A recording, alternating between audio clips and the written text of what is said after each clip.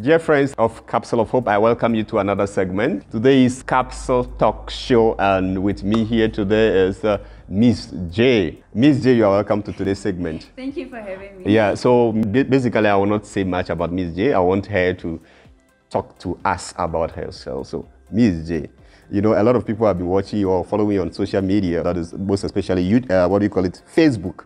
So, uh, they don't know much about you, and they would like to know you. So, who is Miss Jay. Yeah. I am Miss Jay.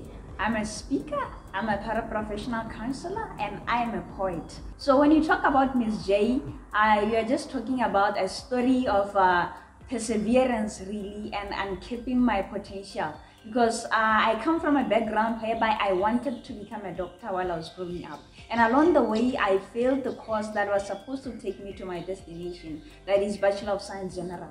And during that period of time, I went through deep anxiety to an extent that I began to withdraw myself from the things that I like the most, such as speaking and poetry, because I believed that I wasn't good enough to talk to anybody. So this is when I describe myself now as a product of words because through the words of people that have encouraged me, that is when I, I, I began to arise and say, you know what, I should come and do what it is that I'm capable of.